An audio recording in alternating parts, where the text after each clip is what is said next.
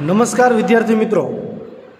આગળના ભાગની અંદર આપણે સ્વાધ્યાય ત્રણ પોઈન્ટ બેના દાખલાઓ જોયા હતા. આજે આપણે સ્વાધ્યાય ત્રણ પોઈન્ટ ત્રણના જે પ્રશ્નો છે એ જોવાના છે. તો સૌપ્રથમ આપણને પ્રશ્ન એકની અંદર અહીંયા આપેલું છે કે લંબ આલેખ આકૃતિ ત્રણ પોઈન્ટ ત્રણ, એટલે કે આ આકૃતિ અહીંયા તમને બે આકૃતિ આપેલી છે, પણ આપણે આકૃતિ ત્રણ પોઈન્ટ ત્રણ અને અહીંયા આપેલી છે આકૃતિ ત્રણ પોઈન્ટ ચાર.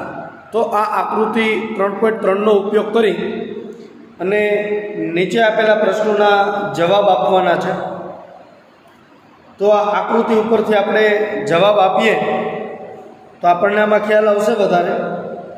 તો જોઈએ આપણે સૌપ્રથમ પ્રશ્ન આપેલો છે, કયું પાલતુ પ્રાણી સૌથી વધુ લોકપ્રિય છે?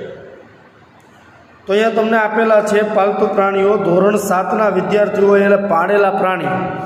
એમનો તમને અહીંયા આલેખ આપેલો છે. તો આ આલેખની અંદર તમને અલગ અલગ પ્રકારના પાંચ પ્રાણીઓ કીધા છે. જેમાં પેલું પ્રાણી આપેલું છે તમને કૂતરું, બિલાડી, સસલું, બકરી અને બાકીના અન્ય પ્રાણીઓ આપેલા છે. તો પ્રશ્ન પહેલો એવો કીધેલો છે કે કયું પાલતુ પ્રાણી સૌથી વધુ લોકપ્રિય છે? તો ધોરણ સાતના જે વિદ્યાર્થીઓ હતા, એમાંથી અહીંયા તમને વિદ્યાર્થીઓની સંખ્યા બતાવે છે. તો આઠ વિદ્યાર્થીઓને કૂતરું પસંદ છે દસ વિદ્યાર્થીઓને બિલાડી પસંદ છે. તો આ બધાની અંદર સૌથી વધુ સંખ્યા હોય એવી એવી સંખ્યા છે બિલાડી. તો દસ વિદ્યાર્થીઓ એવા છે જેને સૌથી વધુ એટલે કે બિલાડી પસંદ છે. તો અહીંયા તમે કહી શકો કે બિલાડી એ સૌથી વધુ લોકપ્રિય છે. બરાબર? ત્યારબાદનો બીજો પ્રશ્ન તમને એવું કીધેલો છે. કેટલા વિદ્યાર્થીઓનું પાલતુ પ્રાણી કૂતરો છે? તો એ કૂતરાની તમે સંખ્યા જુઓ. આલેખ પરથી. તો આઠ વિદ્યાર્થીઓનું પાલતુ પ્રાણી કૂતરો છે. બરાબર? આ પ્રશ્નોના જવાબ તમારે બુકની અંદર લખવાના છે, વિદ્યાર્થી મિત્રો. અહીંયા હું તમને આલેખ પરથી સમજાવી અને બતાવી અને અહીંયા સમજાવું છું. હવે ત્યારબાદ પ્રશ્ન નંબર બે તમને આપેલો છે અહીંયા. તો પ્રશ્ન નંબર બેમાં શું છે? તો આપેલ લંબ આલેખ, આકૃતિ ત્રણ પોઈન્ટ ચાર. એટલે કે આ આકૃતિ. હવે આ આકૃતિનો અભ્યાસ કરો કે જે પુસ્તક ભંડારમાં સતત પાંચ વર્ષ દરમિયાન વેચાયેલ પુસ્તકની સંખ્યા દર્શાવે છે. અને નીચેના પ્રશ્નોના જવાબ આપો. હવે અહીંયા આલેખ પરથી આપણે આલેખ જોઈ અને પ્રશ્નોના જવાબ આપવાના છે. તો સૌપ્રથમ પહેલો પ્રશ્ન આપેલો છે. ઓગણીસો નેવ્યાસી નેવું અને બાણુંના દરેક વર્ષમાં કેટલા પુસ્તકોનું વેચાણ થયું હશે? અલગ અલગ તમને પ્રશ્નો આપ્યા, એમાં ઓગણીસો ને નેવ્યાસી, ત્યારબાદ ઓગણીસો નેવું અને ઓગણીસો ને બાણું. આની અંદર કેટલા પુસ્તકોનું વેચાણ થયું છે? તો વિદ્યાર્થી મિત્રો, મારી પાસે એક સાહિત્ય છે, એની અંદરથી હું તમને બતાવીશ. અહીંયા તમને આનો ચોક્કસ આંકડો અહીંયા મળતો નથી. મારે અહીંયા કેટલી સંખ્યા છે, જોવા માટે થોડી તકલીફ પડે. તો એક સાહિત્યની અંદર જે છપાયેલું પ્રકાશન છે, એની અંદર હું તમને બતાવી આપું. તો વિદ્યાર્થી મિત્રો, આ એ આલેખ છે, જે તમને પુસ્તકમાં આપેલો હતો. એ આલેખને અહીંયા આપણે આલેખ સ્વરૂપે દર્શાવેલો છે. તો હવે તમને પ્રશ્ન એવો છે, ઓગણીસો નેવ્યાસી, ઓગણીસો નેવું અને ઓગણીસો બાણુંના દરેક વર્ષમાં કેટલા પુસ્તકોનું વેચાણ થયું છે તો ઓગણીસો ને નેવ્યાસીમાં આપણે જોઈએ, અહીંયા આપણને એક એકમ, એટલે આ એક એકમ કહેવાય એક ખાનું જે હશે, એ એક એકમ છે, આ પાંચ એકમ થાય ત્યારે એક સેન્ટીમીટર થાય. તો એક એકમ બરાબર સો પુસ્તકો છે, બરાબર? આ એકમ બરાબર સો પુસ્તકો છે, તો અહીંયા એક ખાના બરાબર કેટલા? અહીંયા પાંચ ખાના આપેલા હોય તો આ વીસ પુસ્તકો થશે. એક ખાના બરાબર વીસ પુસ્તકો થાય. તો નેવ્યાસીની અંદર, સો પછી જોઈએ તો બસોની અંદર વીસ પુસ્તકો ઓછા, એટલે કે એકસો એંસી પુસ્તક. તો ઓગણીસો નેવ્યાસીમાં એકસો એંસી પુસ્તકો વેચાયેલા છે. ઓગણીસો નેવુંમાં અહીંયા એક ખાનું આખું એટલે વીસ પુસ્તકો નીકળી જશે ને બીજું ખાનું અડધું ખાલી છે. તો દસ પુસ્તકો એ નીકળી જાય. એટલે તો જો એની સંખ્યા જોઈએ, તો ઓગણીસો ને નેવુંમાં જે પુસ્તકો વેચાયેલા છે, એ પુસ્તકો થશે ચારસો ને પંચોતેર. પાંચસોમાંથી અહીંયા પચીસ જેટલું ઓછું છે. એટલે કે ચારસો ને પંચોતેર પુસ્તકો અહીંયા વેચાયેલા છે. આ આલેખ આપણે એટલા માટે જોઈએ છીએ આપણને એક્ઝેક્ટ મૂલ્ય મળે. બાકી અહીંથી તમે આશરે મૂલ્ય પણ થોડું ઘણું લઈ શકો છો. ત્યારબાદ, ત્રીજું તમને વર્ષ આપેલું છે ઓગણીસો ને બાણું. તો ઓગણીસો ને બાણુંની અંદર બસો અને પચીસ પુસ્તકો વેચાયેલા છે. કેટલા? બસો ને પચીસ પુસ્તક. બરાબર, વિદ્યાર્થી મિત્રો? તો આ થઈ ગયા આપણા પહેલો પ્રશ્ન. ત્યારબાદ બીજો પ્રશ્ન તમને આપેલો છે, કયા વર્ષમાં ચારસો પંચોતેર પુસ્તકો વેચવામાં આવ્યા અને કયા વર્ષમાં બસો ને પચીસ પુસ્તકો વેચવામાં આવ્યા? તો આનો જવાબ પણ આપણે આના પરથી જ મેળવી શકીશું કે ચારસો પંચોતેર પુસ્તકો એટલે કે આ તો કે ઓગણીસો ને નેવુંમાં ચારસો ને પંચોતેર પુસ્તક વેચવામાં આવ્યા અને ઓગણીસો બાણુંમાં બસો પચીસ પુસ્તકો વેચવામાં આવ્યા. બરાબર વિદ્યાર્થી મિત્રો? ત્યારબાદ ત્રીજો પ્રશ્ન તમને આલેખ ઉપરથી કરેલો છે કે કયા વર્ષમાં બસો પચાસ કરતાં ઓછા પુસ્તકો વેચવામાં આવ્યા? તો જુઓ અહીંયા, આપણે બસો પચાસ એટલે આ લાઇનિંગ આવશે. હવે આ લાઇનિંગથી ઓછા હોય એવે બે જ વર્ષ છે. ઓગણીસો નેવ્યાસી અને ઓગણીસો બાણું. આ બે વર્ષમાં બસો પચાસથી ઓછા પુસ્તકો વેચાયા છે. બરાબર? અને ત્યારબાદનો પ્રશ્ન એવો છે, ઓગણીસો નેવ્યાસીમાં વેચાયેલ પુસ્તકની સંખ્યાનો અંદાજ કેવી રીતે કાઢી શકાય? સમજાવી શકશો તો કે હા. આપણને જે અહીંયા આલેખ આપેલો છે, તો આ આલેખની અંદર ઓગણીસો નેવ્યાસીનો જે આલેખ આપ્યો છે. અહીંયા પ્રમાણમાં આપેલું છે, એક સેન્ટીમીટર બરાબર સો ચોપડીઓ. તો આને જો આપણે સ્કેલથી માપીએ, તો આ એક પોઈન્ટ આઠ સેન્ટીમીટર થાય છે. માટે એક પોઈન્ટ આઠ સેન્ટીમીટર હોવાને લીધે આપણે અહીંયા એકસો ને એંસી પુસ્તકો થાય એવું આપણે અહીંયા દર્શાવી શકીએ. બરાબર? આપણે આ અંદાજથી આપણે આનું માપન કરીએ તો પણ આપણને ખ્યાલ આવે. બરાબર? તો આ તો આપણો પ્રશ્ન નંબર બે. ત્યારબાદ આપણે જોઈએ પ્રશ્ન નંબર ત્રણ. તો વિદ્યાર્થી મિત્રો, પ્રશ્ન નંબર ત્રણની અંદર તમને આપેલું છે, જુદા જુદા છ ધોરણના વિદ્યાર્થીઓની સંખ્યા અહીંયા નીચે દર્શાવેલી છે. આ માહિતીને લંબ આલેખ સ્વરૂપે દર્શાવો. તો ધોરણ આપેલા છે પાંચમું, છઠ્ઠું, સાતમું, આઠમું, નવમું અને દસમું. એ દરેકની અંદર વિદ્યાર્થીઓની સંખ્યા આપી છે એકસો પાંત્રીસ, એકસો વીસ, પંચાણું, સો, નેવું અને એંસી.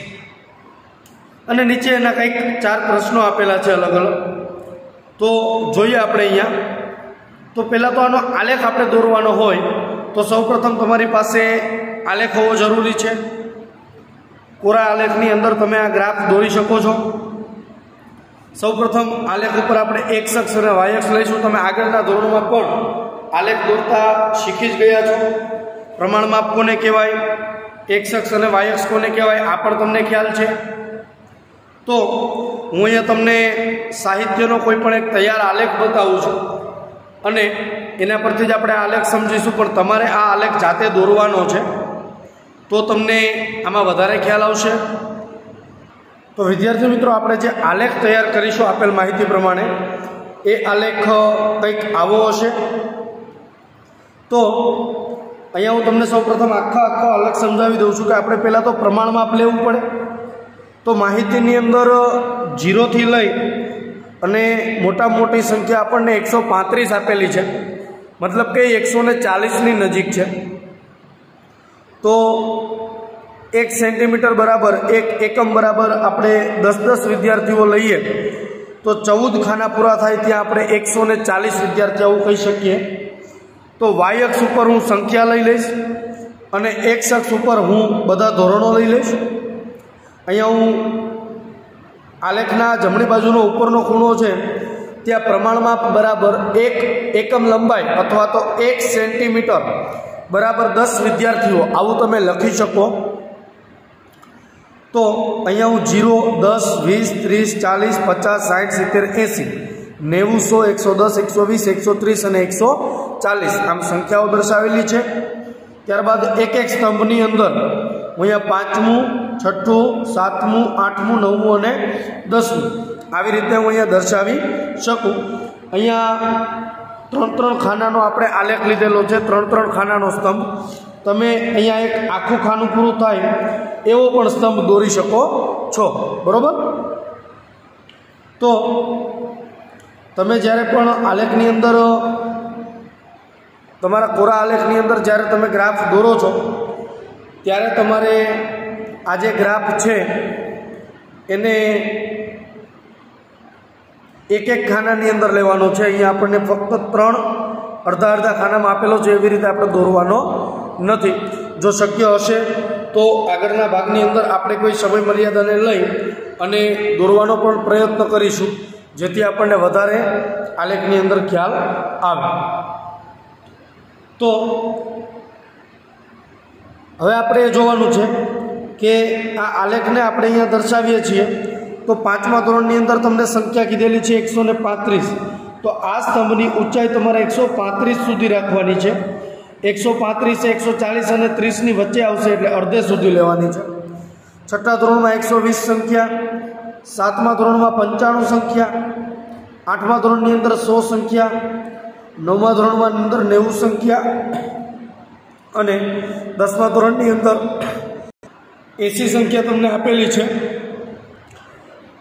તો આવી રીતે તમારે એક કોરોગ્રાફ લઈ કોરો આલેખ લઈ અને તેની અંદર તમારે આ આલેખને દોરવાનો છે અને આ આલેખ પરથી આપણને અમુક પ્રશ્નો આપેલા છે.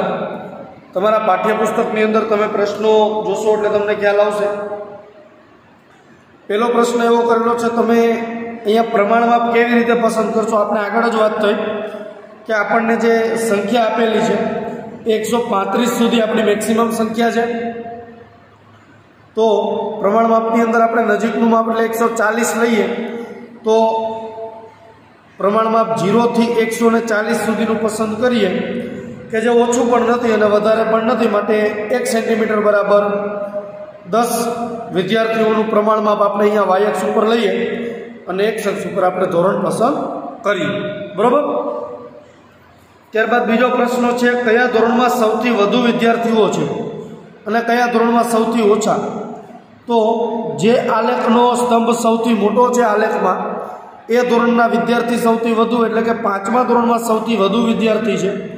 અને સૌથી ઓછો સ્તંભ છે દસમા ધોરણનો. તો દસમા ધોરણમાં સૌથી ઓછા વિદ્યાર્થીઓ છે. ત્યારબાદ તમને બીજું કીધેલું છે, ધોરણ છ અને ધોરણ આઠના વિદ્યાર્થીઓનો ગુણોત્તર કેટલો છે? તો ધોરણ છની સંખ્યા છેદમાં ધોરણ આઠની સંખ્યા, એટલે એકસો વીસના છેદમાં સો. તો એકસો વીસના છેદમાં આપણે સો લખીએ, તો બાર ભાગ્યા દસ, એટલે બાર જેમ દસ, એના તમે છેદ ઉડાડો, એટલે છ જેમ પાંચ. તો અહીંયા જે છઠ્ઠું અને આઠમું ધોરણ છે એનો વિદ્યાર્થીઓનો ગુણોત્તર છ જેમ પાંચ થશે. બરાબર? બારના છેદમાં દસ, એટલે છ ગુણ્યા બે બાર અને પાંચ ગુણ્યા બે દસ. ઉપર નીચે અંશ અને છેદમાંથી બે બે જશે, એટલે અંશમાં છ વધશે. છેદમાં પાંચ વધશે, એટલે છના છેદમાં પાંચ. એટલે છઠ્ઠું ધોરણ અને આઠમા ધોરણના વિદ્યાર્થીઓની સંખ્યાનો ગુણોત્તર છ જેમ પાંચ થાય. બરાબર વિદ્યાર્થી મિત્રો? તો આ સાથે આપણે અહીંયા આપણો આજનો ભાગ અહીંયા પૂરો કરીએ છીએ. આલેખ તમારે દોરવાનો છે અને એની પ્રેક્ટિસ કરવાની છે. ફરી મળીશું આપણે આવતા ભાગની અંદર. નવા આલેખ સાથે, નવા દાખલાઓ સાથે. ત્યાં સુધી આવજો.